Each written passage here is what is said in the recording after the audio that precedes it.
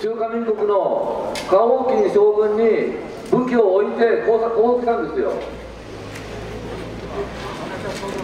丸裸になったんですよ南京にいた日本軍は。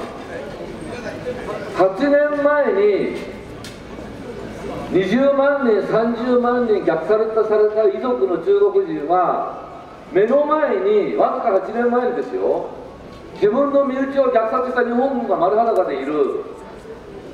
復讐しなかったんですか？仕返ししなかったんですか？げんこつ食らわせなかったんですか？僕だったらやりますよ。石一つ投げられてないんですよ皆さん。南京にいた日本軍はみんな健康でまんまる丸々取ってですよ。日本に帰ってきた。何件虐殺ってあったんですか皆さん。でもあったというふうに教科書に書かなかったら検定を通してくれないんですよ文部省が。日本人の日本国政府の日本人の文部省が。教科書に検定参考してくれないんですよ。これが日本なんですよ。なぜかと聞くと当たり前ですよ。ね近隣諸国条項があるから反抗せないんですよ文部省は。世界でよろしいですか？GNP 世界3位の大国である日本で日本は。世界でただ一つ自分で自分の国の教科書を決められないんですよ。情けないと思いませんか？皆さん。情けないと思われる方今日ぜひ2時15分にね埼玉会館に行ってみていただきたい。中学生の女の子が部活帰りに拉致されて40年。海岸でデートしてたアベックが袋をかぶされて拉致されて40年。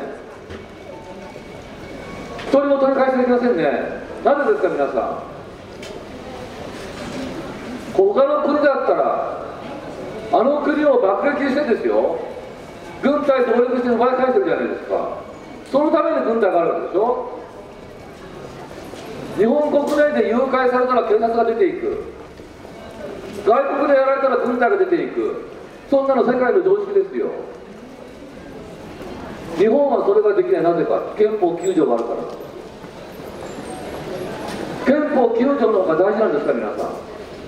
日本国民の生命や安全よりも憲法9条の方が大事なんですか皆さん。変だと思いませんか？日本国民のために憲法があるんじゃないですか？憲法のために日本国民が命を捧げるんですかおかしいですよね。おかしいと思う方はねぜひ2時15分に埼玉会館行ってみてください。何回も言いますよ。皆さんね日本という国は領土が決まってないんですよ。そんなことねえだろう領土決まってるだろう。決まってませんよ。日本の一番最北端はどこですか最北端は。あのね厳密に言うとですね千島列島の最北端に下人ってあるんですよ下人その下人と上坂半島の間にあるのが日本の最北端なんですよ。でもねその千島列島すべて外国に不法占拠されてるんですよ。そうするとね60年不法占拠してて向こうはね既得権を主張しますよ。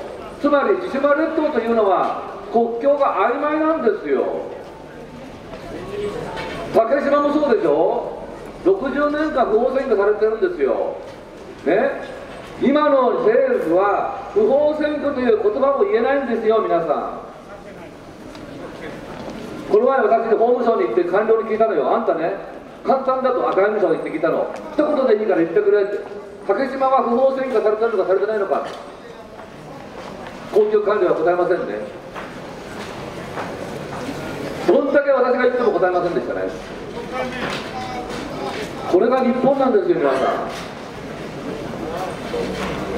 世界でね国境が曖昧な国あります？日本だけですよ。おかしいと思いませんか皆さん。おかしいと思った方はぜひね2時15分に埼玉会館に行ってみてください。あすいませんもう時間になりましたんでこれで皆さん一緒に行きましょう。ご清聴ありがとうございました。